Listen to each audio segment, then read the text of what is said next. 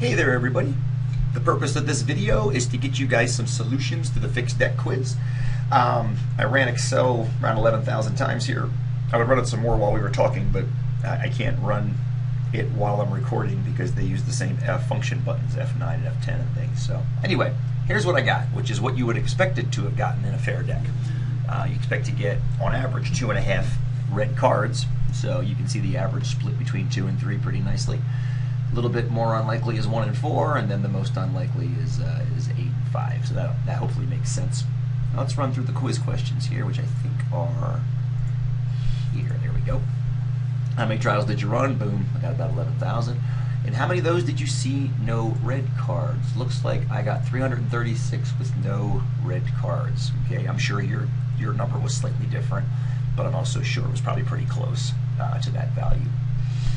Um, use to use the previous two to estimate the percent of the time you should see no red cards. All right, so what we're going to do is we're going to do equals that number div divided by that number.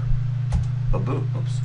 Oh, hang on one second, guys. I don't want to do that because I'm pretty sure I just overwrote it somewhere else. Equals that number divided by that number. So I get about 3%-ish. Now, what you can do, I can't do it here because of the um, because of the way the F9 button is tied to the, the video recorder. But what's kind of fun is you can just press F9 right now and watch this percentage change or not change. As you'll see, it doesn't change all that much. Um, how does your number compare to the true value? And that's what we just said. It's pretty darn close.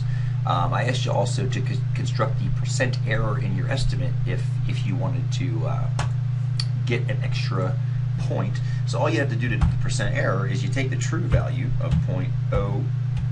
I'm going to put that in parentheses.